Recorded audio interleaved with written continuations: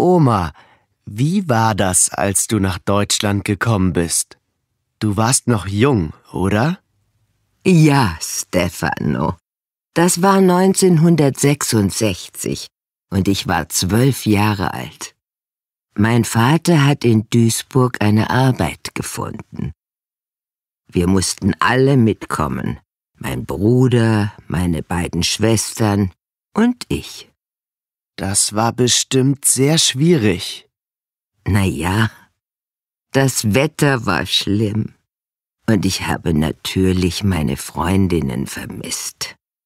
Wir hatten ja nicht mal Handys. Ein Leben ohne Handy. Das ist echt traurig. Aber ich war schnell wieder glücklich. Warum? Was hast du gemacht? Wir hatten eine Nachbarin, Frau Schulze. Sie war sehr lieb und hat uns immer geholfen. Mit uns Kindern hat sie gespielt, wenn unsere Eltern gearbeitet haben. Und sie hat mir mit den Hausaufgaben geholfen. Oh ja, die Schule war bestimmt sehr schwierig für dich. Ja, das stimmt aber ich konnte ziemlich schnell gut Deutsch sprechen. Und dann hab ich deinen Großvater kennengelernt und geheiratet. Da konnte ich besser Deutsch als Italienisch. Wie findet er es, dass du jetzt ein Jahr in Neapel leben möchtest? Ach, er findet das ganz gut. Mein Start in Deutschland war nicht einfach. Aber ich glaube, jetzt wird alles schön. Khaleds Start in Deutschland war nicht einfach. Aber er glaubt, jetzt wird alles schön. Khaleds Start in Deutschland war nicht einfach. Aber er glaubt, jetzt wird alles schön.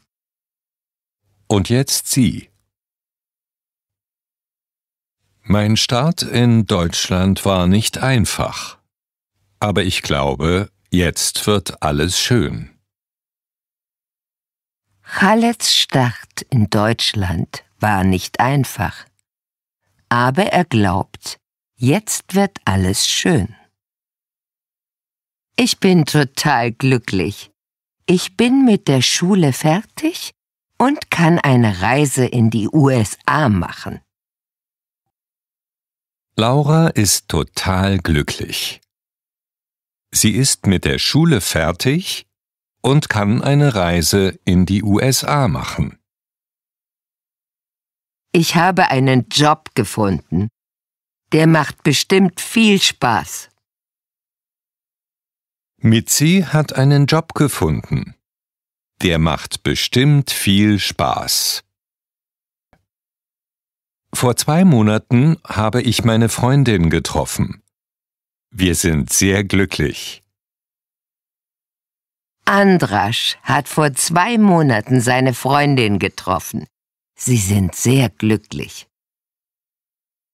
Gestern bin ich Vater geworden. Ich bin so glücklich wie noch nie. Philipp ist gestern Vater geworden. Er ist so glücklich wie noch nie.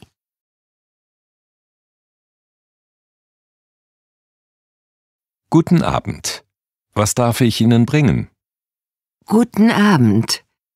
Ich nehme eine Pizza und dazu einen Salat, bitte. Und was möchten Sie trinken? Eine Limonade, bitte. Alles klar. Dankeschön. Verzeihen Sie. Ja, bitte? Die Rechnung, bitte. Getrennt oder zusammen? Zusammen. Das macht 47 Euro. Hier sind 50 Euro. Stimmt so. Dankeschön. Auf Wiedersehen. Verzeihen Sie, Ja, bitte? ich habe ein Problem. Hier, sehen Sie, das Bier ist nicht kalt. Entschuldigen Sie bitte. Ich bringe Ihnen sofort noch ein Bier. Hallo Laura. Komm rein. Schön, dass du da bist. Wir haben uns echt schon lange nicht mehr gesehen. Hallo Jens. Danke für die Einladung. Hier, die sind für dich. Oh, die sind aber schön. Ich liebe Blumen. Vielen Dank. Mmh, das Essen riecht ja lecker. Hoffentlich schmeckt es auch. Ich habe zum ersten Mal ein Rezept von meiner Tante gekocht. Braten mit Pilzen. Ich hoffe, du magst Rindfleisch? Oh ja, sehr gern. Und bald bekommen wir eine neue Kollegin aus Polen, hat der Chef gesagt.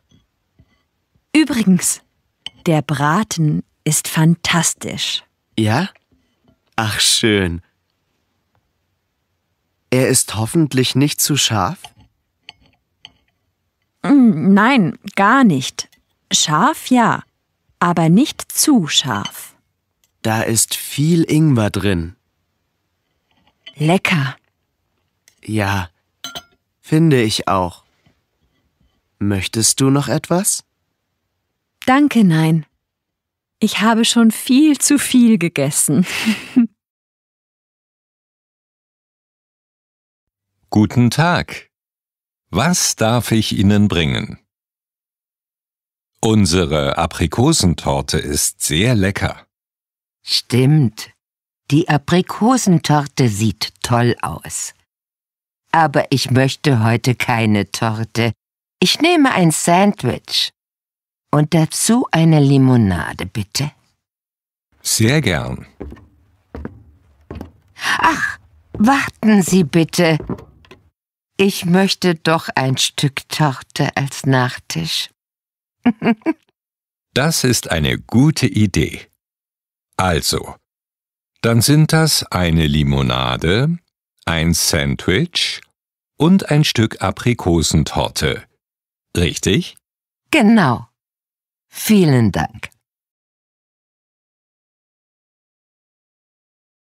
Guten Tag. Hier ist wieder euer Markus von Radio Z. Heute geht es um das Thema Lieblingssport. Bei mir ist Tanja. Hallo Tanja.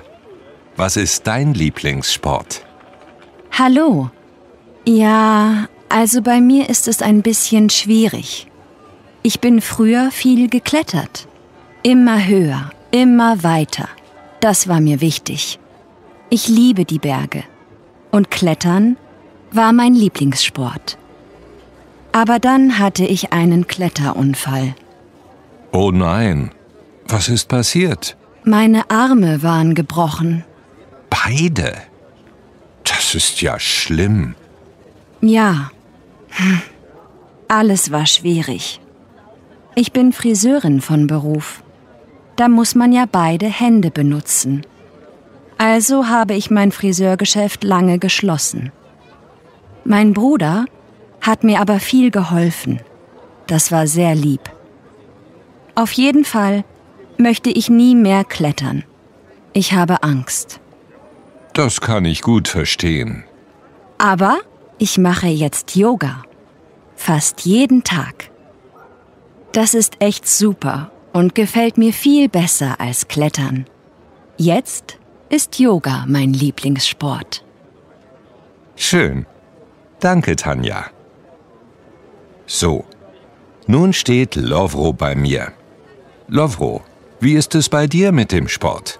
Hallo Markus. Also mein Lieblingssport ist das Schwimmen. Ich komme aus Pula in Kroatien. Die Stadt ist am Meer. Es ist total schön dort. Das kann ich mir vorstellen.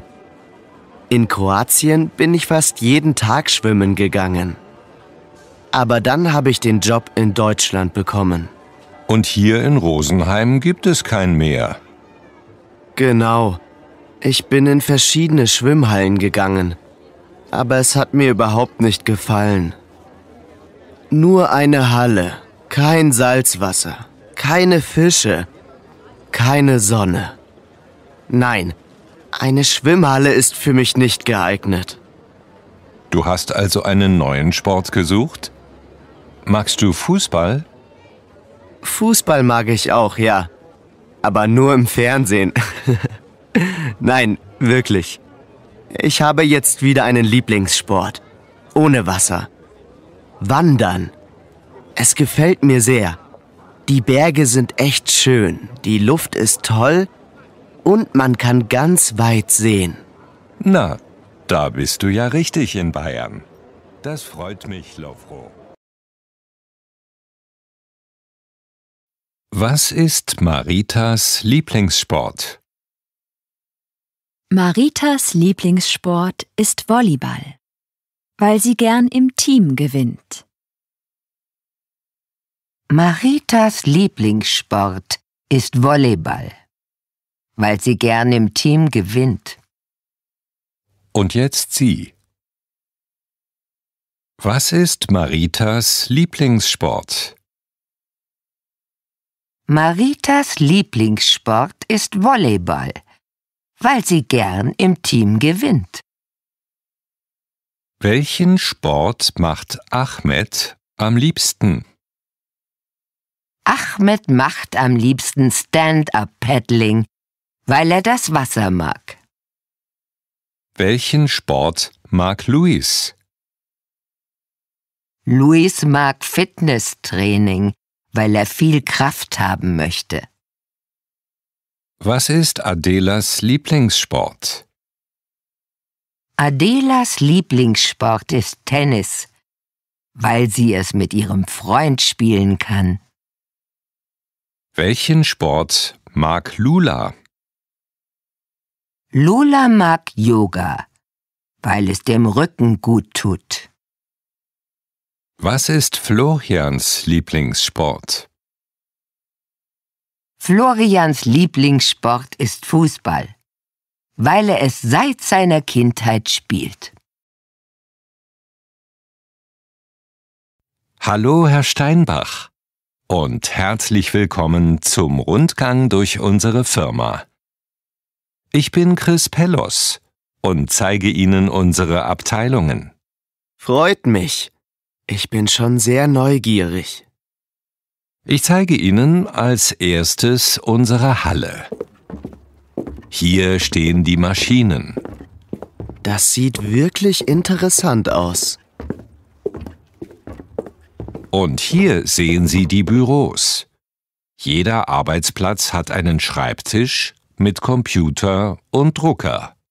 Toll. Wie viele Arbeitsplätze haben Sie? 70 Arbeitsplätze. Zum Abschluss zeige ich Ihnen noch die Kantine. Hier können die Mitarbeiterinnen und Mitarbeiter in der Mittagspause etwas essen. Super. Vielen Dank für den Rundgang. Wie lange lebt Lorena in Deutschland?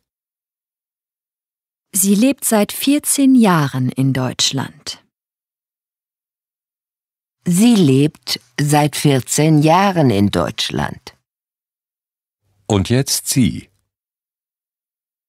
Wie lange lebt Lorena in Deutschland? Sie lebt seit 14 Jahren in Deutschland. Was sagt Lorena über ihr Studium? Das Studium war sehr langweilig. Wer hat gesagt, dass Lorena Straßenbahnfahrerin werden kann? Ein Freund hat das gesagt. Wie lange hat Ihre Ausbildung gedauert? Die Ausbildung hat drei Jahre gedauert. Wie findet Lorena ihre Arbeit? Die Arbeit macht ihr viel Spaß. Warum muss Lorena am Ende durch die Straßenbahn laufen? Sie muss schauen, dass niemand mehr drin ist. Warum hat Lorena den Hund mit nach Hause genommen? Es war schon spät in der Nacht. Hallo, liebe Freunde. Hier ist wieder Bob. Heute ist unser Thema der erste Monat im Job. Wir haben mit zwei Azubis gesprochen und gefragt, wie gefällt dir dein Job, deine Ausbildung nach dem ersten Monat? Was wünschst du dir? Was kann deine Firma besser machen? Für das erste Gespräch ist Maler bei mir. Hallo Maler. Wie ist es bei dir? Hallo. Ja, also ich habe vor vier Wochen begonnen. Ich mache eine Ausbildung in einer großen Möbelfirma. Mit den anderen Azubis ist es sehr nett. Auch die Chefin ist nett. Aber... Gibt es Probleme? Oh ja, leider viele. also zum Beispiel muss mein Bildschirm größer sein. Ich arbeite sehr viel am Computer und abends tun meine Augen weh. Dann ist da das Essen in der Kantine. Es schmeckt echt nicht gut. Oft esse ich nur einen Salat. Aber wenn ich Hunger habe, kann ich nicht gut arbeiten. Ich wünsche mir, dass die Kantine besser wird. Die dritte Sache ist, dass in unserer Abteilung schon lange eine Kollegin krank ist und ich ihre Arbeit machen muss. Zum Beispiel muss ich viel mit ihren Kunden telefonieren. Das nervt. Ich glaube, deine Firma kann noch vieles besser machen. Danke, Maler.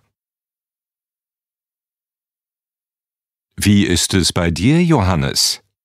Hallo, ich arbeite seit vier Wochen bei einer Zeitung. Es ist mein erster Job. Und ich bin echt zufrieden. Das ist schön. Die Arbeit macht dir also Spaß. Ja, es macht mir wirklich Spaß. Die Arbeit ist sehr interessant und meine Kolleginnen und Kollegen sind auch nett. Aber klar, es ist wie bei Maler. Es gibt auch Probleme. Was stört dich? Was wünschst du dir? Am meisten stört mich im Moment, dass der Kopierer seit Wochen nicht funktioniert. Ich muss oft etwas drucken. Der Chef soll endlich einen Kopierer bestellen. Was ich mir wünsche? Ich möchte gern einen Tag in der Woche zu Hause arbeiten. Das dürfen wir noch nicht. Vielleicht in zwei Jahren. Leider gibt es auch kein Sportangebot bei uns. Yoga, Gymnastik, so etwas. Das wünsche ich mir. Wenn ich Sport mache, bin ich viel zufriedener und habe bessere Ideen. Aber eine Zeitung ist natürlich kein Fitnessstudio.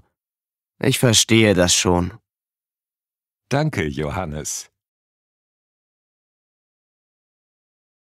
Aus wie vielen Ländern kommen die Schülerinnen und Schüler?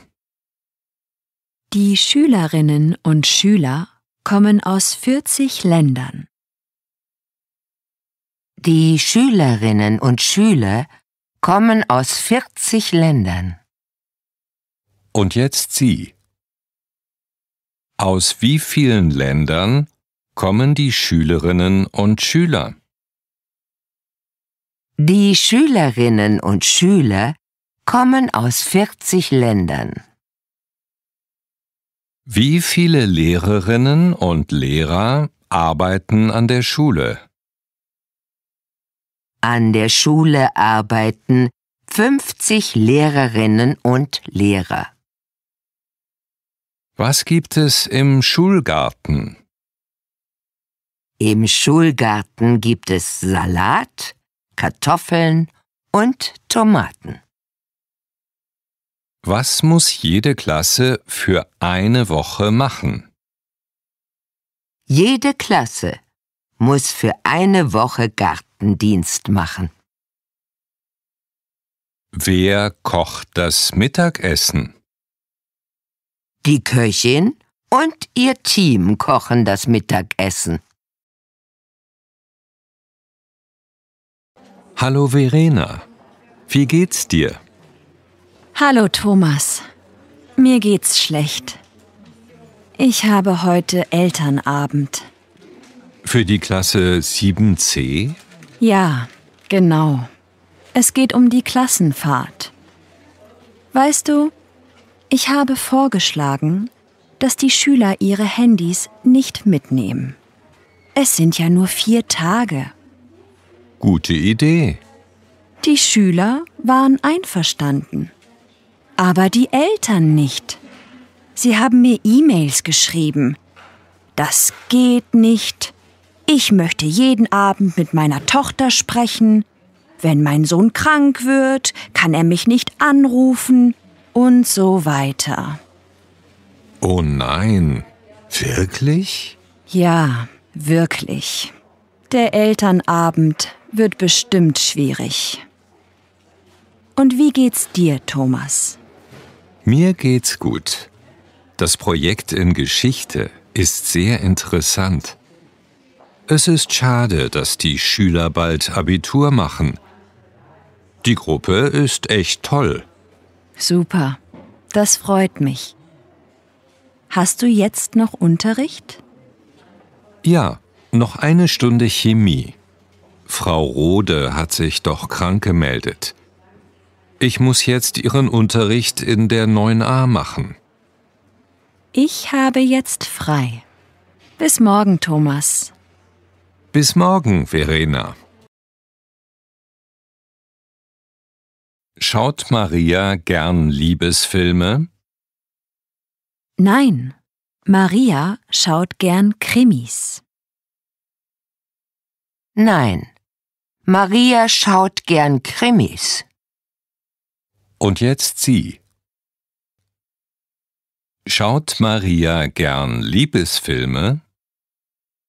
Nein, Maria schaut gern Krimis. Hört Matteo am liebsten Radio? Nein, Matteo hört am liebsten Podcasts. Findet Arsu Horrorfilme interessant? Nein, Arso findet Talkshows interessant. Sieht Oma abends gern Nachrichten?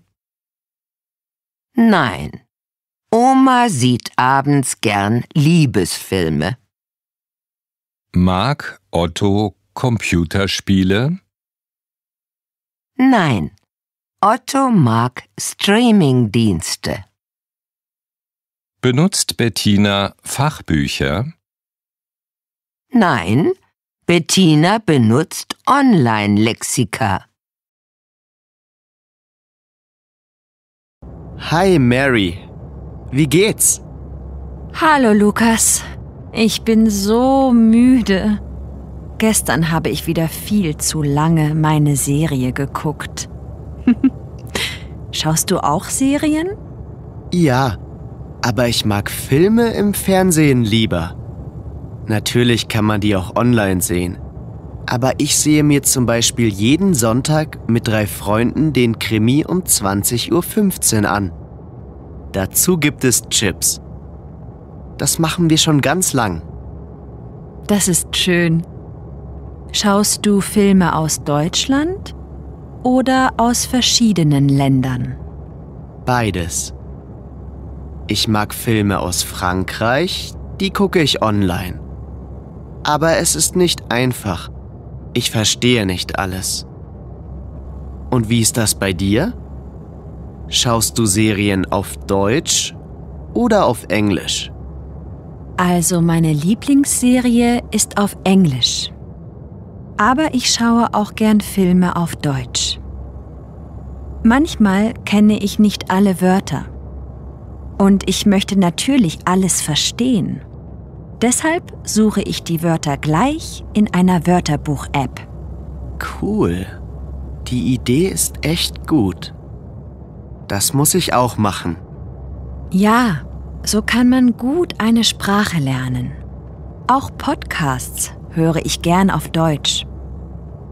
Viele Podcasts sind richtig toll. Ja? Kannst du mir einen empfehlen? Interessierst du dich für Sport? Na klar. Dann empfehle ich dir den Podcast Unsere Bälle. Der ist super. Du findest ihn auf der Webseite von Radio Neuberg. Hallo Nora. Wir haben uns echt lange nicht gesehen. Hey, Lucy. Ja, das stimmt. Lustig, dass wir uns hier im Supermarkt treffen. Wie geht's dir? Mir geht's gut.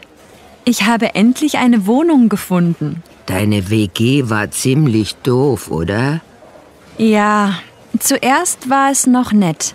Aber dann. Meine Mitbewohnerin Melly hat nie aufgeräumt. Die Küche war immer schmutzig. Und Jarek, der andere Mitbewohner, hatte fast jeden Abend Besuch von seinem Bruder. Sie haben oft bis spät in die Nacht Computerspiele gespielt oder Musik gehört, total laut. Also habe ich nach einer Wohnung gesucht, nur für mich, ohne Mitbewohner. Aber eine Wohnung finden, du weißt ja, dass das sehr schwierig ist. Oh ja, aber du hast es geschafft. Glückwunsch. Danke. Und? Wie ist deine Wohnung? Sie ist klein, aber sehr hell, im vierten Stock. Und ich habe einen Balkon. Toll. Ist die Wohnung teuer? Es geht. Natürlich teurer als mein Zimmer in der WG. Aber mein Vermieter hat mir ein Angebot gemacht. Ich renoviere selbst und zahle deshalb weniger Miete. Das habe ich gern gemacht. Meine Freundinnen haben mir geholfen. Super. Im Flur stehen noch überall Kisten und ich muss ganz viel auspacken, aufbauen und einrichten. Aber wenn alles fertig ist, musst du mich unbedingt mal besuchen. Sehr gern. Schickst du mir deine Adresse? Na klar. Moment, das mache ich gleich. Danke. Ist angekommen. Na dann, bis bald. Tschüss und bis bald in meiner Wohnung. Wohin stellen wir den Sessel? Den Sessel stellen wir ins Wohnzimmer. Den Sessel stellen wir ins Wohnzimmer. Und jetzt Sie. Wohin stellen wir den Sessel? Den Sessel stellen wir ins Wohnzimmer. Sollen wir die Lampe ins Wohnzimmer stellen? Nein, die Lampe stellen wir in den Flur. Stellen wir die Vase in die Küche? Ja, die Vase stellen wir in die Küche. Wohin stellen wir die Pflanze? Die Pflanze stellen wir ins Badezimmer. Legen wir den Teppich ins Wohnzimmer? Nein, den Teppich legen wir ins Schlafzimmer. Wohin stellen wir den Schrank? Ich denke, wir stellen den Schrank dort hinten an die Wand. Ja, okay, das geht. Aber Vorsicht mit den Wänden. Der Schrank ist sehr hoch. Keine Sorge, ich passe auf. Wohin soll denn der Tisch? Stell bitte den Tisch neben den Schrank. Neben dem Schrank ist zu wenig Platz. Passt der Tisch nicht besser neben das Sofa? Okay, dann stell den Tisch neben das Sofa. Sei bitte vorsichtig, denn das Sofa ist ganz neu. Selbstverständlich. Und die Lampe? Soll ich die Lampe gleich aufhängen? Gute Idee. Hänge sie bitte über den Tisch. Guten Tag. Ich suche eine Apotheke. Können Sie mir bitte helfen? Aber sicher gern. Also, Sie gehen hier jetzt weiter die Straße entlang. Rechts ist der Dom. Sehen Sie ihn? Ja, ich sehe den Dom. An der nächsten Kreuzung gehen Sie nach rechts, dann geradeaus die Straße entlang und an der ersten Kreuzung links. Da ist ein Einkaufszentrum. Okay, da gehe ich vorbei, ja? Genau. Am Einkaufszentrum gehen Sie vorbei bis zur Kreuzung. Sie sehen die U-Bahn-Station, gehen aber nicht über die Straße. Sie gehen nach rechts. Nicht zur U-Bahn. Nach rechts. Gut. Jetzt müssen Sie nur noch ein Stück die Straße entlang gehen. Dann kommt links die Apotheke. Ganz herzlichen Dank. Gern. Und gute Besserung. Entschuldigung, wie komme ich zur Jugendherberge? Gehen Sie nach links und dann gleich wieder links. Gehen Sie nach links und dann gleich wieder links. Und jetzt Sie. Entschuldigung, wie komme ich zur Jugendherberge? Gehen Sie nach links und dann gleich wieder links. Gehen Sie geradeaus in Richtung Dom. Gehen Sie am Dom vorbei. Gehen Sie an der Kreuzung links. Gehen Sie die Straße entlang. Auf der rechten Seite ist die Jugendherberge. Hallo, Frau Markmann. Hallo, Herr Ramos. Und, wie geht's Ihnen?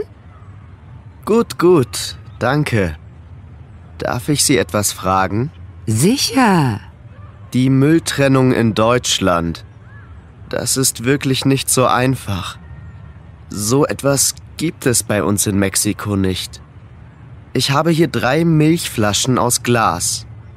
Ist das Restmüll?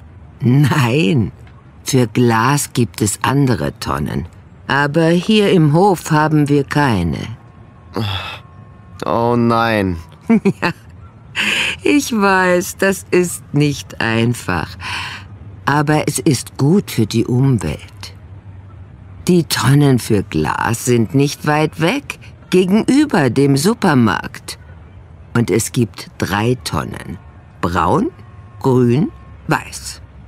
Die Tonne für ihre Milchflaschen ist weiß.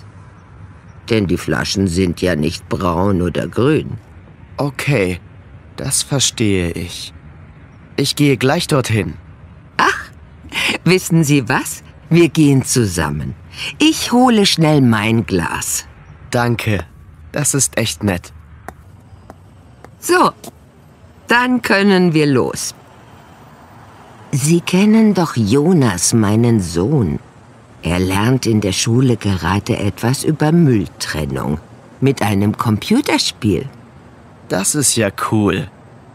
Vielleicht kann Jonas mir das mal zeigen? Na klar. Prima. Ich bin neu im Haus. Was soll ich machen? Du sollst dich vorstellen. Du sollst dich vorstellen.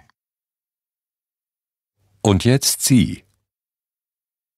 Ich bin neu im Haus. Was soll ich machen?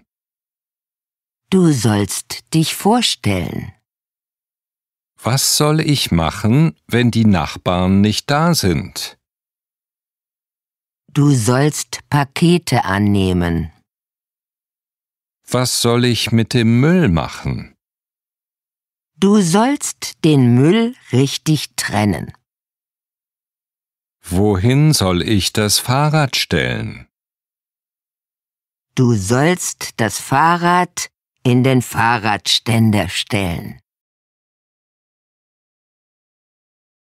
Hi, ich bin Susanne Lauber und für unseren Podcast Wege in den Beruf spreche ich heute mit dem Kantinenchef Kurt Marti. Herr Marti, Sie sind jetzt schon seit 35 Jahren Kantinenchef bei der Folon GmbH in Düsseldorf. Das ist lang. Wie hat Ihr Berufsleben begonnen? Und warum sind Sie aus der Schweiz nach Deutschland gekommen? Nun, Kochen und Essen, das hat mir schon immer Spaß gemacht. Also habe ich nach der Schule eine Ausbildung zum Koch gemacht, in einem Hotel am Genfer See. Das Restaurant war teuer, das Essen sehr gut und die Gäste hatten alle viel Geld. Ich komme aus einem Dorf. Zuerst war der Job im Hotel total spannend und neu für mich. Aber nach ein paar Monaten hat es mir dort nicht mehr so gut gefallen. Es war auch etwas schwierig mit dem Chef. Die Ausbildung habe ich aber trotzdem beendet. Sind Sie dann direkt nach Düsseldorf in die Folon GmbH gekommen? Ja, richtig. Ich habe mich gleich nach der Ausbildung hier beworben. Warum haben Sie sich in Deutschland beworben? Und warum nicht in einem Restaurant? Dass ich nach Düsseldorf gekommen bin, hat äh, mit meiner Frau zu tun. Sie kommt aus Düsseldorf, war aber für ihre Arbeit manchmal in Genf. So haben wir uns kennengelernt. Ach, schön. Nun, und in einem Restaurant wollte ich nicht mehr kochen. Das ist zwar sehr schön, aber die Arbeitszeiten sind furchtbar. Man arbeitet, wenn andere Menschen frei haben oder Ferien machen, nicht wahr? am Wochenende, spät abends und so weiter. Ich war oft erst spät nachts zu Hause. Viele Kollegen haben deshalb keine Familie. In einer Kantine hat man normale Arbeitszeiten, oder? Ja, richtig. Wir fangen sehr früh an, aber wir haben auch früh Feierabend. Und wir müssen nicht am Wochenende und an Feiertagen arbeiten. Das ist sehr gut. Was sollte ein Koch oder eine Köchin mögen und besonders gut können? Also, es ist wichtig, dass man schnell ist und auf alles aufpassen kann, auch wenn es mal stressig ist. Außerdem ist es in einer Kantinenküche sehr heiß.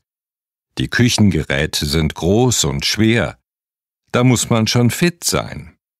Und alle müssen gut zusammenarbeiten. Unser Team hier ist zum Glück super.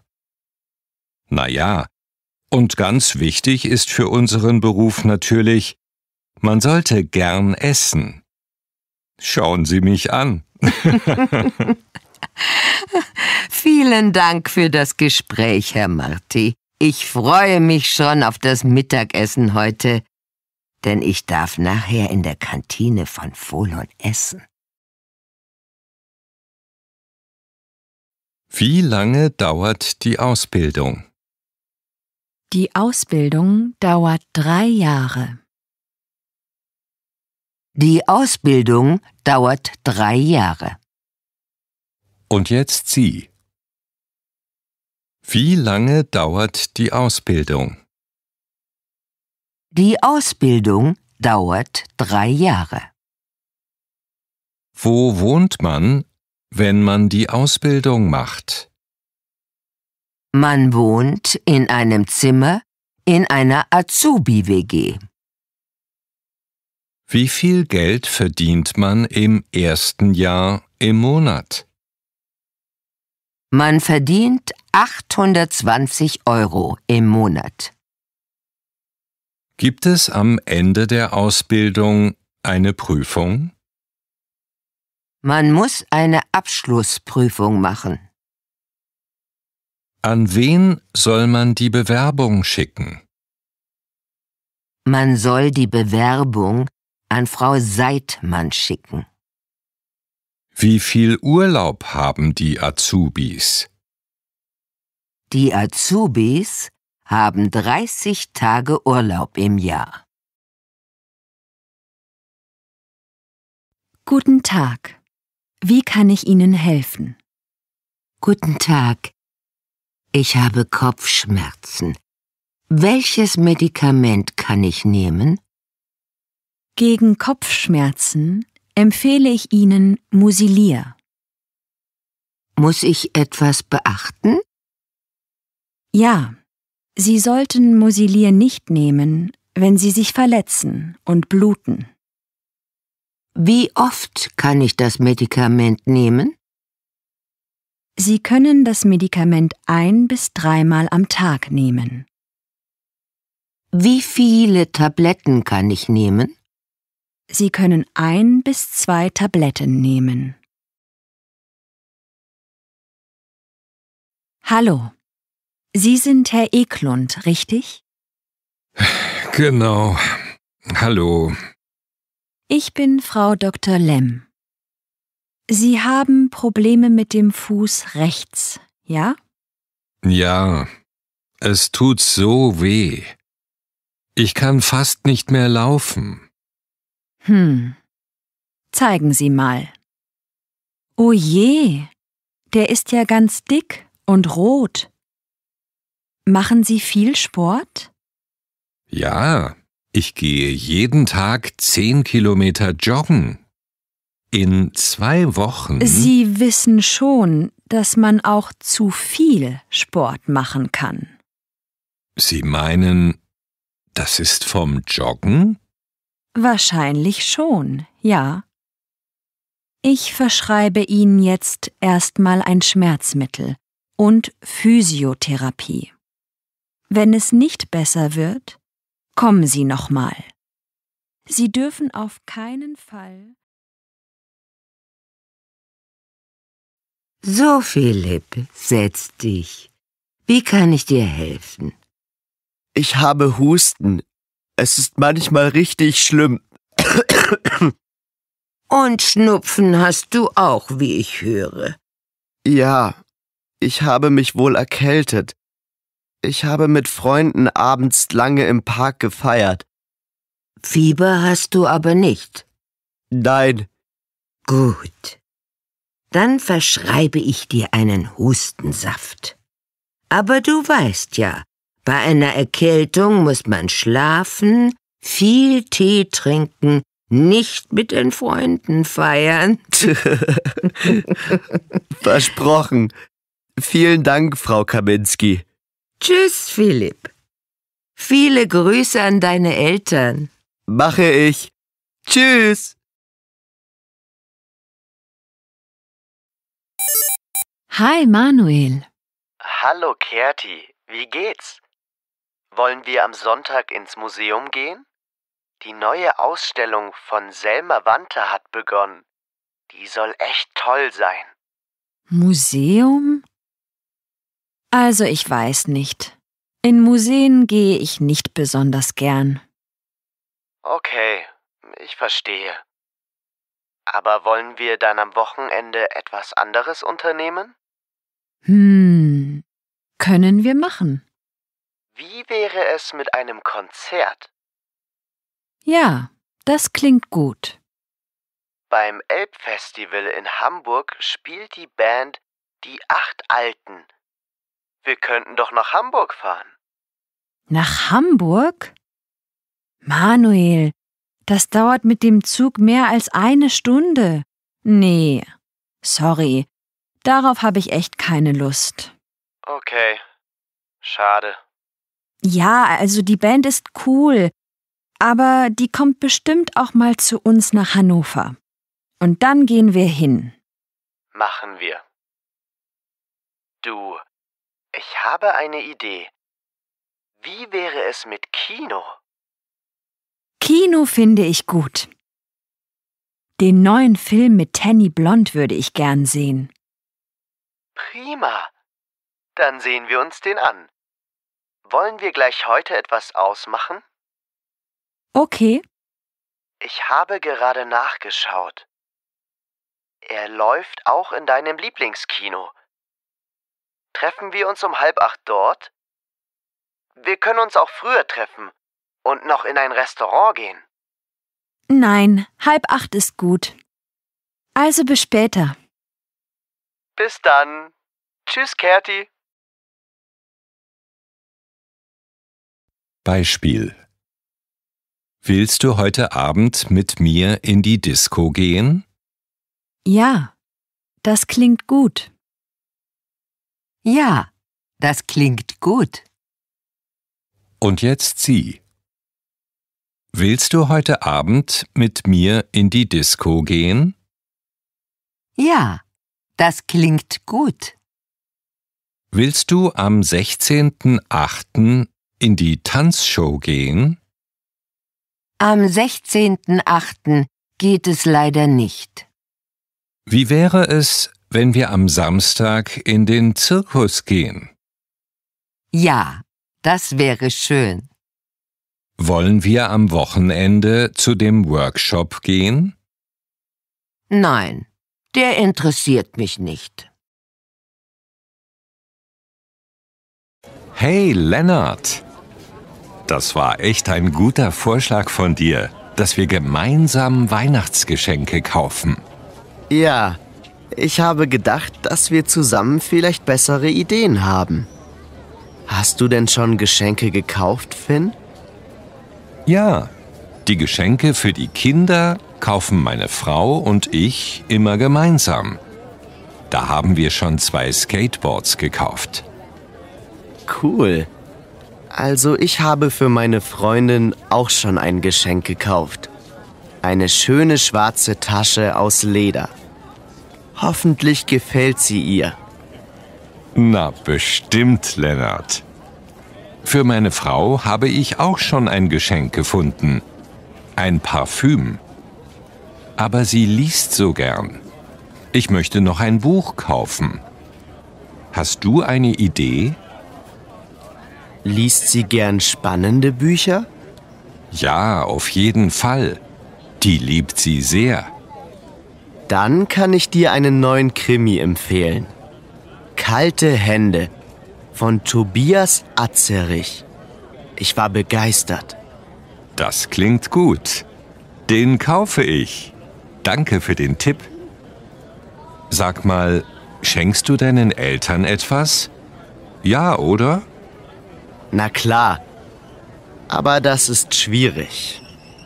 Hm. Mein Vater interessiert sich sehr für Computer und Technik. Hat er schon ein Tablet? Nein, das wäre vielleicht eine Idee. Er hat ja auch wirklich Ahnung von so etwas. Da freut er sich bestimmt. Und sag mal, Finn, du kennst doch meinen Bruder. Na klar. Ich erinnere mich gut an ihn. Macht er immer noch so viel Sport? Ja, ich möchte ihm gern schöne neue Handtücher schenken. Er braucht ja fast jeden Tag nach dem Training ein frisches Handtuch. Dann lass uns doch zu Mapstadt gehen. Die haben eine ganze Etage mit Haushaltswaren. Und danach gehen wir in ein Café. Oh ja. Ich finde, wir haben uns jetzt ein großes Stück Kuchen verdient.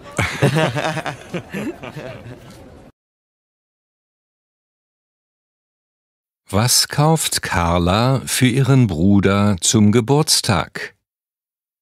Carla kauft für ihren Bruder eine Mütze zum Geburtstag. Carla kauft für ihren Bruder eine Mütze zum Geburtstag. Und jetzt Sie. Was kauft Carla für ihren Bruder zum Geburtstag? Carla kauft für ihren Bruder eine Mütze zum Geburtstag. Was kauft Simon für Tino zur Hochzeit? Simon kauft für Tino eine Kaffeemaschine zur Hochzeit. Was kauft Philipp für Emilia zur Party? Philipp kauft für Emilia eine Flasche Wein zur Party. Was kauft Mikesh für seine Eltern zu Weihnachten? Mikesh kauft für seine Eltern Eintrittskarten zu Weihnachten. Was kauft Botti für Annika zum Geburtstag? Botti kauft für Annika eine Creme zum Geburtstag. Was kauft Lana für ihren Großvater zu Ostern? Lana kauft für ihren Großvater Pralinen zu Ostern. Erzähl mal, Linda. Wie war es mit deiner Enkeltochter im Theater? So schön, Klaus. Es war wirklich eine tolle Vorstellung. Und die Schauspieler einfach super.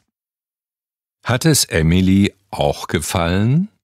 Ja, ich denke schon.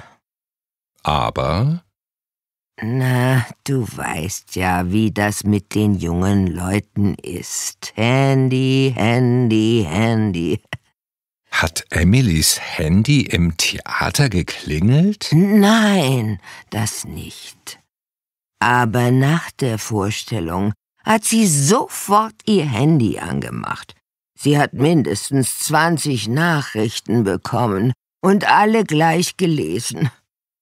Danach hat sie ein Selfie von uns vor dem Theater gemacht und wollte es auf einem Social-Media-Kanal posten.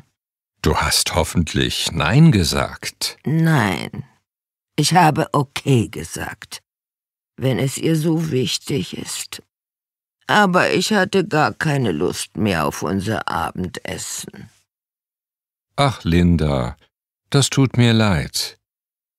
Weißt du was? Nächstes Mal gehen wir zusammen ins Theater. Das machen wir. David, ich habe ein Problem. Kannst du mir bitte helfen? Na klar, gern. Worum geht es? Ich muss einige Informationen ans Sekretariat schicken. Für meinen neuen Job, weißt du? Das geht aber nicht als E-Mail oder online. Ich darf sie nur als Brief schicken. so ist das in Deutschland, Yumi. Hm. Aber ich weiß nicht, wie man in Deutschland den Empfänger auf einen Brief schreibt. Ich glaube, die Postleitzahl ist nicht oben, oder? Nein, die steht unten, genau. Also, pass auf, es ist gar nicht schwierig. Erst schreibst du den Namen, also hier die Firma. Wernicke IT, Sekretariat. Okay. Aber ist das nicht unhöflich ohne einen Namen? Nein, das ist ganz normal. Danach schreibst du die Straße und die Hausnummer. Weißt du die Hausnummer? Ja. Nummer 4 bis 10. Tim Haller Straße 4 bis 10. Gut. Dann fehlen nur noch die Postleitzahl und die Stadt. Das ist alles? Ja, das ist alles. Danke, David. Du hast mir sehr geholfen. Trinken wir noch einen Tee? Gern. Was macht Maja auf der Post? Maja kauft eine Briefmarke auf der Post. Maja kauft eine Briefmarke auf der Post. Und jetzt Sie. Was macht Maja auf der Post? Maja kauft eine Briefmarke auf der Post. Was schickt Giorgio seiner Frau? Giorgio schickt seiner Frau ein Päckchen. Was nimmt Hadil mit zur Post? Hadil nimmt den Abholschein mit zur Post. Was schreibt Herr Sandberg auf den Briefumschlag? Herr Sandberg schreibt den Empfänger auf den Briefumschlag. Georgi, ich habe gerade auf meinen Kontoauszug geschaut. Und? Hast du das Geld für die Miete im Mai endlich bekommen? Nein, immer noch nicht. Du musstest zweimal bezahlen, weil die Bank einen Fehler gemacht hat. Nicht du. Dein Vermieter muss dir das Geld zurückgeben. Ich weiß nicht, ob ich zu deiner Großmutter nach Bulgarien mitkommen kann. Doch, das schaffen wir, Valeria. Es gibt noch Bustickets für 90 Euro. Ich frage mal meinen Bruder, ob er uns ein bisschen Geld leihen kann. Nein, bitte nicht. Das möchte ich nicht. Aber Oma freut sich schon so. Sie will dich endlich kennenlernen. Ich möchte sie ja auch kennenlernen. Immer dieses Geld. Ab Oktober habe ich meinen neuen Job. Da verdiene ich 400 Euro mehr.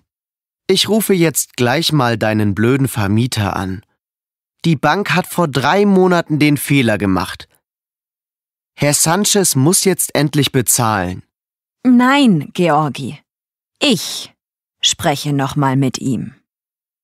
Hm. Okay. Aber sei nicht wieder zu nett. Sanchez hier. Guten Tag. Hallo, Herr Sanchez. Valeria Mitkova hier. Aha. Guten Tag, Frau Mitkova. Worum geht es denn? Ich habe zweimal Miete bezahlt und Sie haben das Geld immer noch nicht überwiesen. Sie haben zweimal Miete bezahlt. Aha. Sind Sie sicher? Ja, ich habe doch schon öfter mit Ihnen gesprochen. Mit mir gesprochen? Das kann sein, Frau Mitkova. Aber wissen Sie, ich habe viele Wohnungen. Da fällt so etwas nicht sofort auf. Herr Sanchez, 580 Euro sind für mich sehr viel Geld. Ja, ja. Sie müssen nicht laut werden. Ich schaue nach und rufe Sie morgen an. Gut. Dann bis morgen. Was hast du diesen Sommer vor, José? Eigentlich wollte ich meine Familie in Spanien besuchen. Aber leider habe ich gerade meinen Job verloren und muss nun einen neuen suchen. Warum bist du eigentlich nach Österreich gekommen, Mathilda? Ich wollte gern im Ausland studieren. Und weil ich schon in der Schule Deutsch gelernt habe, bin ich nach Wien gezogen. Was sollen wir Polina zum Geburtstag schenken? Puh, das ist nicht leicht. Du hast ja vorgeschlagen, dass wir ihr Schmuck schenken. Eine Kette zum Beispiel. Aber das ist natürlich sehr teuer. Wie wäre eine Creme für den Körper? Ja, das ist eine gute Idee. Wo ist eigentlich die alte Vase von deiner Mutter?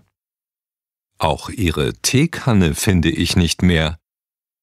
Wir brauchen beides, wenn an Ostern die Familie kommt. Die Vase war doch hässlich.